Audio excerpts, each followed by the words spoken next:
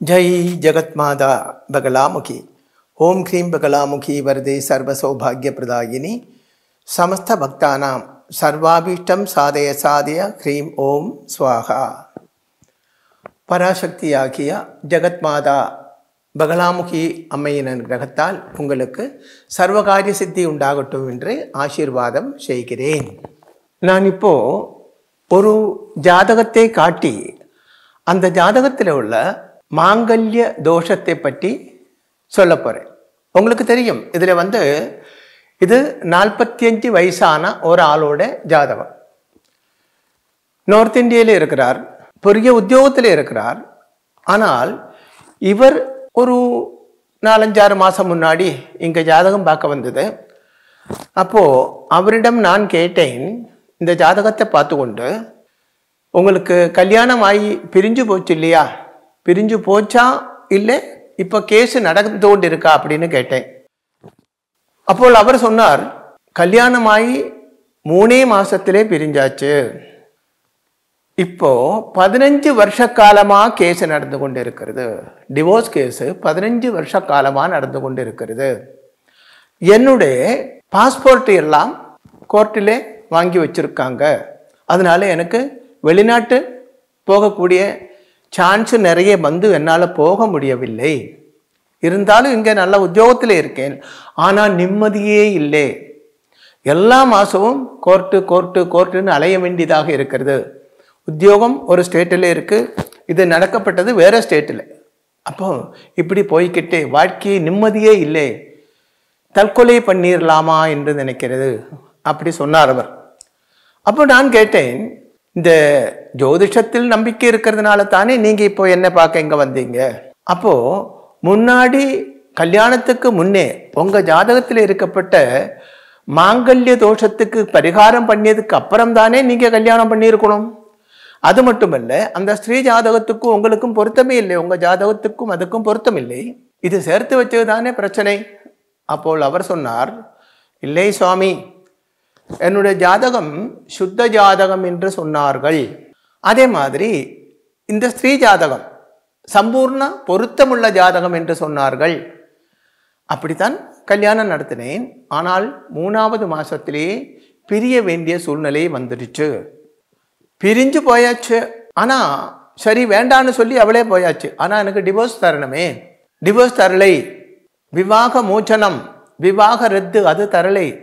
Torture பண்ணிக்கிட்டே இருக்கு. என்னுடைய அப்பா அம்மா சகோதரி எல்லாவரையும் கோர்ட்டுக்கு இழுத்தாச்சு. அப்பாவும் அம்மாவும் ஜெயிலுக்கு வர போக வேண்டிய சூழ்நிலை உருவாயிடுச்சு. ஏன் இப்படி? நிறைய பேர் சொன்னாங்க செய்வனை தான் அப்படி சொன்னாங்க. அது தெரியறதுக்காகத்தான் உங்களை தேடி நான் வந்தேன். அவர் பாம்பேலேருந்து வந்திருக்கிறாரு. அப்போது இது தெரியறதுக்காகத்தான் நான் உங்களை தேடி வந்தேன். என்னைக்கு தான் எனக்கு இதில் விமோச்சனம் விமோசனம் உண்டாகும் அப்படி அவர் கேட்டார். நமக்கு இந்த ஜாதகத்தில் ஏன் அப்படி நடந்தது என்று கொஞ்சம் பார்ப்போமே. கொஞ்சம் கவனிச்சுக்கோங்க.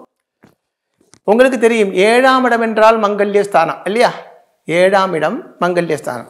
அப்போ இது லக்னம். லக்னம் தான் ஒன்றாம் இடம். அதில் இருந்து ஒன்று ரெண்டு மூணு நாலு அஞ்சு ஆறு ஏழு. அந்த ஏழாம் இடத்துல குரு இருக்கிறது ஜூபிட்டர் குரு இருக்கிறது. ஏழில் குரு இருக்கிறதுனால தான் இந்த ஜாதகம் பார்த்தவங்க எல்லாம் இது சுத்த ஜாதகம் என்று சொன்னது. அதாவது லக்னத்தோட ஏழாம் இடத்தில் மங்கல்ய ஸ்தானத்தில் குரு இருக்கிறதுனால தான் இந்த ஜாதகம் பார்த்தவங்க எல்லாம் இது சுத்த ஜாதகம் என்று சொன்னது. ஆனால் அங்கே ஒரு தவறு இருக்கிறது. ஏனென்றால் இங்கே ஏழாம் இடத்தில் இருக்கப்பட்ட குரு லக்னத்திலே ஏழாம் இடத்தில் இருக்கப்பட்ட குரு லக்னத்துக்கும் நாலாம் இடத்துக்கும் அதிபனாக இருக்கிறது.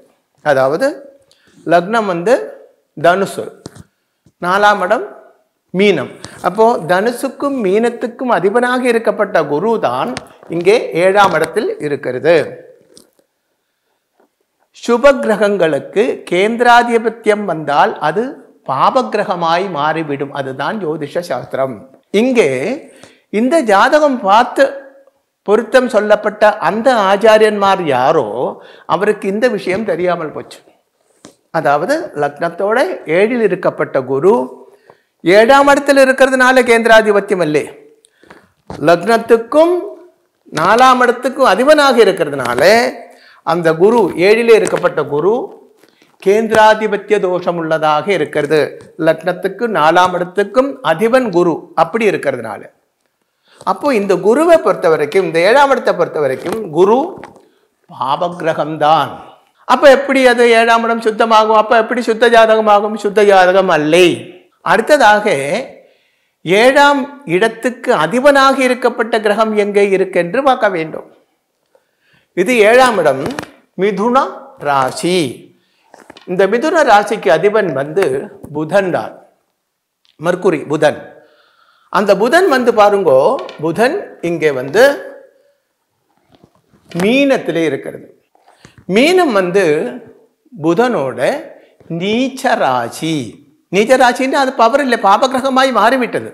அப்போ ஏழில் இருக்கப்பட்ட குரு பாபகிரகம் ஏழாம் பாபாதிபன் நீச்சத்தில் இருக்கு பாபகிரகமாக இருக்கிறது. போய்விட்டது இல்லையா? அப்போ மங்கல்யத்தை பொறுத்த வரைக்கும் இது சம்பூர்ண ஏழாம் இடத்தை பொறுத்த வரைக்கும் ஏழாம் இடம் மாங்கல்ய ஸ்தானம் அந்த மாங்கல்ய ஸ்தானத்தை பொறுத்த வரைக்கும் ஏழாம் இடமும் ஏழாம் பாபாதிபனும் மைனஸில் இருக்கிறதுனால இது சம்பூர்ண பாபகிரகமாய் மாறிவிட்டது பாபஜாதகமாய் மாறிவிட்டது. அடுத்தது வந்து எட்டாம் இடம்.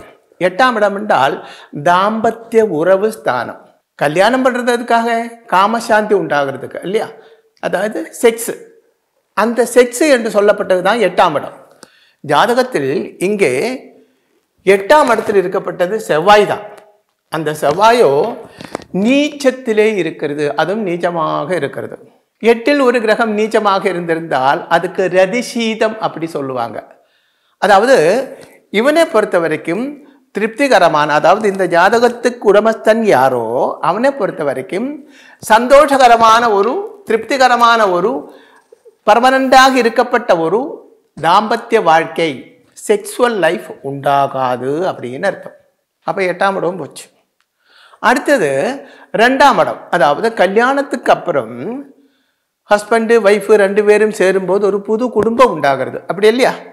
அது லக்னத்தோட ரெண்டாம் இடம். லக்னத்தோட ரெண்டாம் இடம் அப்படி சொல்லியாச்சுன்னா குடும்பஸ்தானம். அந்த குடும்பஸ்தானத்தில் எந்த கிரகம் பார்வை இருக்கு பார்ப்போமே? லக்னாமத்தோட ரெண்டாம் இடத்துல வந்து இங்கே ராகு தான் பார்வை இருக்குது ராகு ஒன்று ரெண்டு மூணு நாலு அஞ்சாம் இடத்தில் ராகு பார்வை இருக்குது அப்போ இந்த ஜாதகத்தை பொறுத்த வரைக்கும் ஏழாம் இடம் எட்டாம் இடம் அதே மாதிரி ரெண்டாம் இடம் இதெல்லாம் மைனஸ்லே இருக்கிறது. அப்போ இந்த ஜாதகத்தை பொறுத்த வரைக்கும் புனர்விவாகவும் கிடையாது. இன்னொரு கல்யாணம் பண்ணலாம் அப்படி நினச்சிருந்தா அது இல்லை. ஒரு கல்யாணம் பண்ணி அவள் மூலமாக அந்த காலம் வரை துரிதம் அனுபவிக்க வேண்டும். முதல்ல இது ஏன் சேர்த்து வச்சது என்று கேட்டதுக்கு என்ன காரணம் என்றால் அந்த பொண்ணோட ஜாதகத்தில் லக்னாதிபன் அதாவது இவரோட ஜாதகத்தில் ஆறாம் இடத்துல ஒன்று ரெண்டு மூணு நாலு அஞ்சு ஆறாம் இடத்துல வீனஸ் சுக்ரன் இருக்கிறது. அந்த சுக்ரன் இருக்கிறதோ ஆறாம் இடம் கிடன் பிரைஸ் மரபு ஸ்தானத்தில் இருக்கிறது. சத்ரு ஸ்தானத்தில் இருக்கு. அப்போ இந்த ஜாதகத்தில் வந்து வீனஸ் சுக்ரன் இவரோட எனிமியாக இருக்கும். அதாவது இவருக்கு வைஃபாக வந்திருக்கப்பட்டவள் யாரோ அவர் இவனோட முன்ஜென்மத்தில் உள்ள எனிமி. அதே மாதிரி அந்த பொண்ணோட ஜாதகத்தில் கூட ஏழாம் பாபாதிபன் ஏழாம் இடத்துக்கு அதிபனாக இருக்கப்பட்ட கிரகம் ஆறிலே இருக்கிறது மறைஞ்சு போய் மறைவிலே இருக்குது பிரிவிலே இருக்கிறது என்று அர்த்தம். ஹிடன் பிளேஸிலே இருக்குது அப்படின்னு அர்த்தம். சத்ருஸ்தானத்தில் இருக்கிறது அப்படின்னு அர்த்தம். சுருக்கமாக முன்ஜென்மத்திலே உள்ள ரெண்டு சத்ருக்களை சேர்த்து வச்சிருக்காங்க. அதனால என்னாச்சு? அவள் இப்போ இங்கே பதினஞ்சு வருஷ காலமாக டிவோர்ஸ் கேஸ் நடக்கும் பொழுது யாருக்கு நஷ்டம்? ரெண்டு பேருக்கும் தான் நஷ்டம் இல்லையா? வயசு ஏறி ஏறி போக போக அவரோட எவ்வனம் தானே நஷ்டமாகிறது இல்லையா? பொண்ணுக்கும் யௌவனம் நஷ்டமாகிறது பையனுக்கும் எவ்வனம் நஷ்டமாகிறது. அந்த எவ்வனம் நஷ்டமாயதுக்கு அப்புறம் இன்னொரு கல்யாணம் கழிச்சு என்ன பிரயோஜனம்? இளமை காலம் முடிஞ்சு விட்டதுக்கு அப்புறம் கல்யாணம் பண்ணினால் அந்த கல்யாணம் தேவையில்லாதது தான் உண்மையில். அப்போ பதினஞ்சு வருஷ காலமாக அந்த பொண்ணு இவரே டார்ச்சர் பண்ணிட்டு இருக்காங்க. இவரோட ஃபேமிலியை டார்ச்சர் பண்ணுறாங்க எதனால? ஜாதகத்தில் அந்த பொண்ணோட பிரச்சனை அல்ல இது. இவர் ஜாதகத்தில் இருக்கப்பட்ட பிரச்சனை தான் பிரச்சனை எங்கே இருக்கிறது? இவரோட ஜாதகத்திலே தான் பிரச்சனை இருக்கிறது. இனி இதுக்கு எல்லாத்துக்கும் காரணம் இவருடைய முன்ஜென்ம பாபதோஷம். பாருங்கோ ஜாதகத்தில் ஒன்று ரெண்டு மூணு நாலு அஞ்சாம் இடத்துல சூரியன் அது உச்சமாக இருக்கிறது. பவர்ஃபுல்லாக இருக்கு. ஒரு ஜாதகத்தில் எத்தனை எத்தனை யோகங்கள் இருந்தாலும் பூர்வ புண்ணிய ஸ்தானமான அஞ்சாம் இடத்தில் சூரியனோ சனியோ ராகுவோ இருந்தால் அந்த யோகங்கள் எதுவும் ஒர்க் அவுட் ஆகாது என்று மட்டுமல்ல ஜாதகத்தில் என்னென்ன தோஷங்கள் இருக்கோ அந்த தோஷங்கள் கொஞ்சம் இன்க்ரீஸ் ஆகும். இங்கே இவருக்கு மாங்கல்ய தோஷம் இருக்கிறது. சந்தோஷகரமான ஒரு குடும்ப வாழ்க்கை உண்டாகாது. இப்படியெல்லாம் தான் இவரோட ஜாதகம். அப்போது அந்த தோஷம் இங்கே ஹண்ட்ரட் பர்சன்ட் ஒர்க் அவுட் ஆகிறது. இன்னொரு விஷயம் கூட இருக்கிறது. இவரோட எந்த ஜாதகத்திலேயும் ஏழாம் இடம் என்றால் ஒய்ஃபு தான். ஏழாம் பாவாதிபன் ஏழாம் இடம் மங்கல்ய ஸ்தானம் ஏழாம் பாவாதிபன் வைஃப் அதாவது வீட்டம்மா பொண்டாட்டி அப்படி சொல்லுவாங்க இவரோட ஏழாம் இடத்தில் குரு இருக்கிறது ஆனால் ஏழாம் பாபாதிபன் அதல்ல ஏழாம் பாபாதிபன் வந்து புதன் தான் அந்த புதனை ராகு பார்க்கறது புதனை ராகு பார்க்கிறது அதே மாதிரி ஏழாம் இடத்துல வந்து மாம்னி மாமி ஏழாம் இடத்தில் பார்வை இருக்கிறது அப்போ இவருக்கு வைஃபாக வரப்பட்டவள் யாரோ இவருக்கு வைஃபாக வரப்பட்டவள் யாரோ அவள் மனோரோகியாக இருக்கும் ஏழாம் பாபாதிபன் ராகு தரிசனத்திலே இருக்கு ஏழில் மானி தரிசனம் இருக்கு அவள் மனோரோகியாக இருக்கும் அப்போ அந்த பையன் சொன்னார் ஆமாம் சுவாமி ஒரே பிரச்சனை தான் இருட்டு அவளுக்கு ரொம்ப பயம். இருட்டு பார்த்தாச்சுன்னா பேய் வருது பேய் வருது பேய் வருதுன்னு சொல்லுவாங்க. நைட் ஆயால் பெட்ரூமில் கூட லைட்டு ஓ பண்ண விட மாட்டா. அதே மாதிரி என்னுடைய அம்மாவுக்கு பேய் பிடிச்சிருக்குன்னு சொல்லுவாங்க. சகோதரிக்கு பேய் பிடிச்சிருக்குன்னு சொல்லுவாங்க. சில நேரத்தில் நிறைய சாப்பிடு ஓவராக சாப்பிடுவாங்க. கேட்டால் என்னோட உடம்புல நாலஞ்சு ஆத்மாக்கள் இருக்குது அவளுக்காக சாப்பிட வேண்டும் அப்படி சொல்லுவாங்க இதெல்லாம் மனோவியாதி தானே இல்லையா? இப்படியெல்லாம் சொன்னால் ஹண்ட்ரட் பர்சன்ட் அது மனோவியாதி தான். அப்போ ஒரு ஜாதகத்தில் ஏற்கனவே பல யூடியூப்லேயும் நான் பல ஜாதகங்கள் பார்த்து சொல்லியிருக்கேன். அதாவது சந்திரனோடு மாந்தி சேர்ந்தால் ராகுவோடு மார்னி சேர்ந்தால் அது எந்த இடத்துல பார்வை இருக்கிறதோ அந்த இடம் எதை பேஸ் பண்ணுறதோ அதாவது மாதృஸ்தானம் பித்ருஸ்தானம் சகோதரஸ்தானம் கலத்திரஸ்தானம் இப்படியெல்லாம் இருக்கு இல்லையா? அங்கே பேஸ் பண்ணும்போது அந்த ஆளுக்கு மனோவியாதி உண்டாகும். அப்போ இந்த ஜாதகத்தை பொறுத்த வரைக்கும் இவரோட ஜாதகத்திலே உள்ள தோஷங்கள் மட்டுமல்ல அந்த பொண்ணுக்கு. அதாவது இவர் யாரை கல்யாணம் பண்ணியிருக்கிறதோ அந்த பொண்ணுக்கு மனோவியாதியும் இருக்கு. இப்போ நல்ல ஒரு மனுஷன் பார்க்கறதுக்கு ரொம்ப யோக்கியனாக இருக்கும். அவர் சொன்னார் பீடி சிகரெட்டு கூட குடிக்க மாட்டேன். இதுவரை வாழ்க்கையிலே நான் ஒரு பியர் கூட சாப்பிட்டதில்லை. ரொம்ப ஃப்ரெண்ட்ஸ் ஒன்றும் எனக்கு கிடையாது. வீட்டில் இருந்து வேலை முடிச்சாச்சுன்னா நேராக வீட்டுக்கு வந்துடும் ஆரம்ப காலத்தில் சேலரி வாங்கி அம்மா கிட்ட கொடுக்கும். கல்யாணத்துக்கு அப்புறம் அம்மா சொன்னார் அது உன் வீட்டுக்கு அம்மா கிட்ட தான் கொடுக்கணும் பொண்டாட்டிகிட்ட தான் கொடுக்கணும் அங்கே கொடுன்னு சொன்னாங்க. நான் அப்படி பண்ணிட்டு இருக்கேன். இப்படியெல்லாம் இருந்தும் அவனோட வாழ்க்கை இந்த பொண்ணு மூலமாக நாசமாக போச்சு. அதுக்கு காரணம் லவ் பண்ணி கல்யாணம் பண்ணலே. அரேஞ்ச் மேரேஜ் தான். காரணம் என்ன? ஒன்று இந்த ஜாதகம் பார்த்த ஆளுகளுக்கு கல்யாணத்துக்கு முன்னாடி இந்த ஜாதகம் பார்த்த ஆளுகளுக்கு அந்த குருஜனங்கள் என்று சொல்லப்பட்டவர்களுக்கு இதில் மாங்கல்ய தோஷம் இருக்கு என்று கண்டுபிடிக்கக்கூடிய அறிவு இல்லாமல் போச்சு. ரெண்டாவது பொருத்தம் பார்க்கும் பொழுது இந்த இந்த தோஷங்கள் இதுக்கு இருக்கு. இதுக்கு தகுந்த ஸ்திரீ ஜாதகம் வர வேண்டும். அதை சேர்த்து வைக்க வேண்டும் என்ற ஒரு அறிவு இல்லாமல் போச்சு. அப்போ பாருங்கோ இவரோட தலையில இப்படி ஆகி போச்சு. அதனால பிரச்சனை எல்லாம் உண்டாயாச்சு. அப்போ அந்த வியாதிக்கு என்ன மருந்து அதை செய்துக்கோ அந்த மருந்து சாப்பிட்டுக்கோ என்று சொல்றதுக்கு பதிலாக கிடைச்ச ஜாதகம் சேர்த்து வச்சாச்சு. இப்போ நிறைய ஜோதிஷம் படித்தவர்களும் என்ன பண்ணுறனால் பொருத்தம் பார்க்கணும் அப்படி வந்து சொல்லிட்டு ஜாதகம் பொருத்தம் பார்க்கும் பொழுது ஒரு ஸ்திரீ ஜாதகம் புருஷ ஜாதகம் ரெண்டும் எடுத்தாச்சு கையில் எடுத்தாச்சு உடனே பஞ்சாங்கம் எடுத்தாச்சு அதில் கொடுத்துருக்கோம் பஞ்சாங்கங்களில். இப்போ சில வீக்லி மாசிக இதெல்லாம் கூட கொடுக்கறது. விவாக பொருத்தம் அப்படின்னு. அதில் ராசி பொருத்தம் ராசி ஆதிப பொருத்தம் வசிய பொருத்தம் மகேந்திர பொருத்தம் தின பொருத்தம் தீர்க்க பொருத்தம் இப்படி ஒரு பத்து பொருத்தம் இருக்கு. அந்த பத்து பொருத்தங்கள் தான் இவங்க பார்த்துட்டு ஆ எட்டு பொருத்தம் இருக்கு ஆறு பொருத்தம் இருக்குது இப்படி எல்லாம் சொல்கிறாங்க ஆனால் அது வெறும் நட்சத்திர பொருத்தம் தான். அந்த நட்சத்திர பொருத்தத்தில் பத்தில் பத்து பொருத்தம் இருந்தாலும் இந்த பிளானட்டரி பொசிஷன் கரெக்ட் அல்லே என்றால் கல்யாணம் நடத்தக்கூடாது என்று தான் சாஸ்திரம். இது நிறைய பேருக்கு தெரியறதில்லை. அதனால நான் பல எபிசோடிலேயும் நான் உங்களிடம் சொல்லியிருக்கேன். எப்பவும் விவரம் தெரிஞ்ச ஒரு ஆள்கிட்ட போங்க. சாஸ்திரம் தெரிஞ்ச ஒரு ஆள்கிட்ட போங்க. வயிற்று படப்புக்காக ஜோதிஷம் படித்தவன்கிட்ட போகாதீங்க. சாஸ்திரியமாக படித்த நிறைய பேர் தமிழ்நாட்டில் இருக்குது கேரளாவில் இருக்குது இந்தியாவில் எங்கே பார்த்துருந்தாலும் இருக்குது ஆனால் அவங்கள சுலபமாக அவங்களுக்கு பார்க்கவோ பேசவோ முடியாது. கொஞ்சம் கஷ்டமாக இருக்கும். இப்போ குவாலிட்டி உள்ள ஒரு டாக்டரை உங்களுக்கு பார்க்கணுன்னா நீங்கள் அப்பாயின்மெண்ட் வாங்கித்தான் போய் பார்க்கணும். இல்லையா? அப்படி தானே பெரிய ஹாஸ்பிட்டலாக இருந்தால் கூட அப்பாயின்மெண்ட் அட்வான்ஸாக அப்பாயின்மெண்ட் வாங்கணும். நீங்கள் போய் கொஞ்சம் வெயிட் பண்ணணும். அப்புறம் தான் அவரை பார்க்க முடியும். ஏன்னா அவர் அவர் பிஸியாக இருக்கும். அந்த குவாலிட்டி அவருக்கு இருக்குன்னு அர்த்தம். சில இடங்களில் ஒரு கிளினிக் திறந்து வச்சுட்டு டாக்டர் அப்படியே உட்காந்துருப்பாங்க இன்னைக்கு யாராவது வந்தால் பார்க்கலாம் அப்படின்னு. அந்த மாதிரி இடத்துக்கு போகாதீங்க. உங்கள் வாழ்க்கை தான் சீரழிஞ்சு போய்விடும். உங்கள் ஆரோக்கியம் தான் சீரழிஞ்சு போய்விடும். எப்பவும் ஜோதிஷம் என்று சொல்லப்பட்டது நம்மளோட தலையில் எழுத்து தான் ஜாதகம் என்று சொல்லப்பட்டது நம்மளோட தலையில் எழுத்து தான் ஜோதிஷம் என்று சொல்லப்பட்டது வாழ்க்கையின் வழிகாட்டி தான் இதே மாதிரி இவர் போன மாதிரி உள்ள இடங்களில் போனால் இவரும் மூணு பேர்கிட்ட கேட்டதா சொன்னாங்க. நாங்கள் ஒரு ஆள்கிட்ட அல்லே சாமி மூணு பேர்கிட்ட கேட்டாச்சு. மூணு பேரும் ஓகே இது சுத்த ஜாதகம் தான் என்று சொன்னாங்க. அதனால தான் கல்யாணம் பண்ணினேன். மூணே மாசத்துல அவ அவ வீட்டுக்கே போயாச்சு. ஒண்ணுமே சொல்லாம போயாச்சு. அப்புறம் வக்கீல் நோட்டீஸ் அனுப்பியாச்சு. எனக்கு டிவோர்ஸ் வேணும்னு அவள் தான் கொடுத்தாங்க. இவர் கொடுக்கல கேஸ் அவளே அதை கேட்டுட்டு அவளே வந்து இப்போ டிவோர்ஸுக்கு ஒத்து வராமல் இருக்கிற வாழ்க்கையும் கொடுக்க மாட்டாங்க விமோச்சனவும் கொடுக்க மாட்டாங்க. அதுக்கு என்ன காரணம் என்றால் ஒன்று அவள் ஒரு மனோரோகி. அவள் மட்டுமல்ல அவரை வீட்டில் உள்ளவங்களும் அப்படி இருக்கலாம். அவளுக்கு மூளை இருந்து அவங்க திங்க் பண்ணணும் இல்லையா? இந்த பதினஞ்சு வருஷ காலத்தில் பொண்ணோட வாழ்க்கை என்னாச்சு?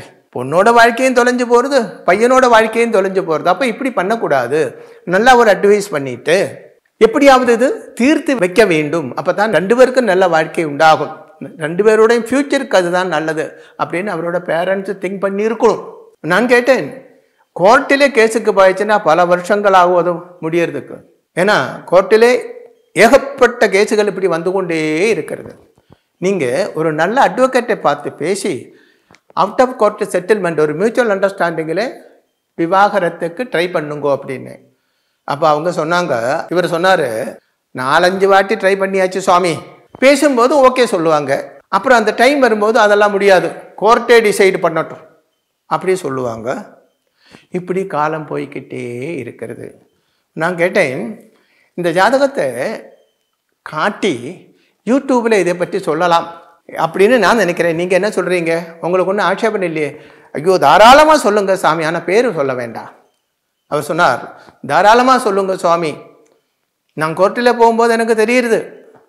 எத்தனையோ பேர் என்னை மாதிரி ஆணும் பொண்ணும் இந்த விவாக மோச்சனத்துக்காக டிவோர்ஸ் கேஸ் கிடைக்கிறதுக்காக ஆலைஞ்சுக்கிட்டே இருக்காங்க. சிலவங்க கண்ணீர் விடுறாங்க.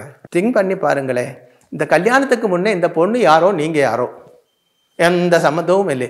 எங்கேயோ கிடந்த ஒருவள் வாழ்க்கையிலே வந்து எவ்வளவு டார்ச்சர் கொடுக்குறா உங்களுக்கு? இது திருப்பியும் உண்டு. பொண்ணு ஜாதகத்திலே இப்படி உண்டு. எங்கேயோ கிடந்த ஒருவன் வந்து அவள் வாழ்க்கையை சீரழிக்கும் தொலைக்கும். அதனால் எப்பவும் கல்யாணம் என்று சொல்லும் பொழுது நல்லா தெரிஞ்ச ஒரு ஆள்கிட்ட கொண்டு போய் நீங்கள் பொருத்தம் பார்த்து கல்யாணம் பண்ண வேண்டும். கண்டிப்பாக அப்படி பண்ண வேண்டும். அப்போ தான் சந்தோஷகரமான ஒரு குடும்ப வாழ்க்கை உண்டாகும். ஏன்னா புதுசாக கல்யாணம் ஆகும்போது ஒரு புதுசாக ஒரு குடும்பம் உண்டாகுது. அங்கே இருந்து புது தலைமுறை ஒன்று உருவாகிறது. சந்தோஷம் உள்ள ஆனந்தமுள்ள ஒரு தலைமுறை உண்டாக வேண்டும். உண்டாக வேண்டுமானால் அப்பா அம்மா சந்தோஷமாக வாழ வேண்டும். அதிலே இருந்து ஜென்மம் கிடைக்கப்பட்ட குழந்தைகள் தான் ஃப்யூச்சரில் நல்லா வாழுவாங்க. அதனால் வாழ்க்கை என்றது ஒரு வாட்டி தான். சந்தோஷமாக இருக்கணும். மனுஷனுக்கு வாழ்க்கையில் ரெண்டு டேர்ம்ஸ் இருக்கு. ஒன்று கல்யாணத்துக்கு முன்னாடி அப்புறம் கல்யாணத்துக்கு அப்புறம். கல்யாணத்துக்கு முன்னாடி உள்ள வாழ்க்கை எல்லை கல்யாணத்துக்கு அப்புறம். கல்யாணத்துக்கு அப்புறம் வாழ்க்கை டிராஜடியாகாமல் இருக்க வேண்டுமானால் மனசுக்கேற்ற ஒருவள் வர வேண்டுமானால் நம்ம இஷ்டப்படி அவள் வாழ வேண்டும். அவள் இஷ்டப்படி நம்மள் வாழ வேண்டும். அப்படி நான் சொல்லவில்லை. ரெண்டு பேரும் ஒரு மனசோ சந்தோஷமாக வாழ வேண்டும். அப்படி இருக்க வேண்டுமானால் சரியாக சாஸ்திரியமாக ஜோதிஷம் படித்த ஆச்சாரியன்மார்கள் கிட்ட நீங்களும் போ பொண்ணும் பையனும் சேர்ந்து போங்கோ. அப்பா அம்மா ஃபேமிலி எல்லாம் விடுங்கோ. என்ன வாழ போகிறது நீங்கள் தான் ரெண்டு பேருமா சேர்ந்து ஜாதகத்தை எடுத்து கொடுத்து நல்லா பொருத்தம் இருக்குது கேரண்டி அப்படி அவர் சொல்லியாச்சுன்னா தைரியமாக கல்யாணம் பண்ணுங்க. இது வேண்டாம். நல்லதல்லே அப்படி சொன்னால் சந்தோஷமாக பிரிஞ்சு போங்க. லவ் பண்ணப்பட்டவங்கள் கிட்ட கூட இதை தான் நான் சொல்ல போகிறேன். ஜெகத் மாதா மகாதேவியின் அனுகிரகத்தால் ஆயுர் ஆரோக்கிய சௌக்கிய சக்தி உண்டாகட்டும் என்று ஆசீர்வாதம் செய்கிறேன்.